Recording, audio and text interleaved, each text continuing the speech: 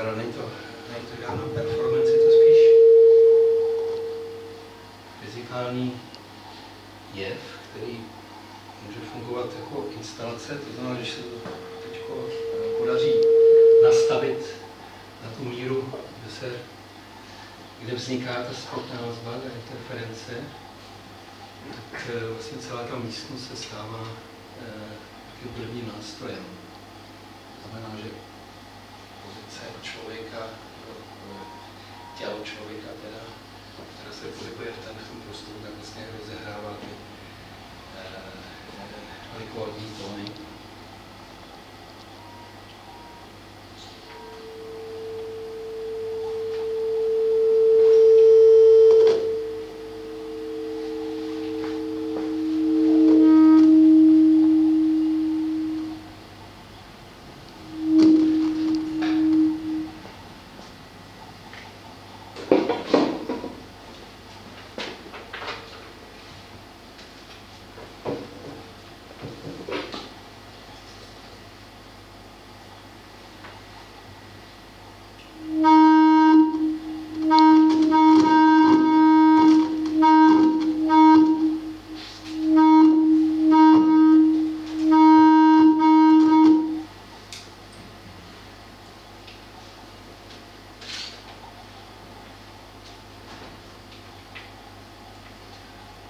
こ。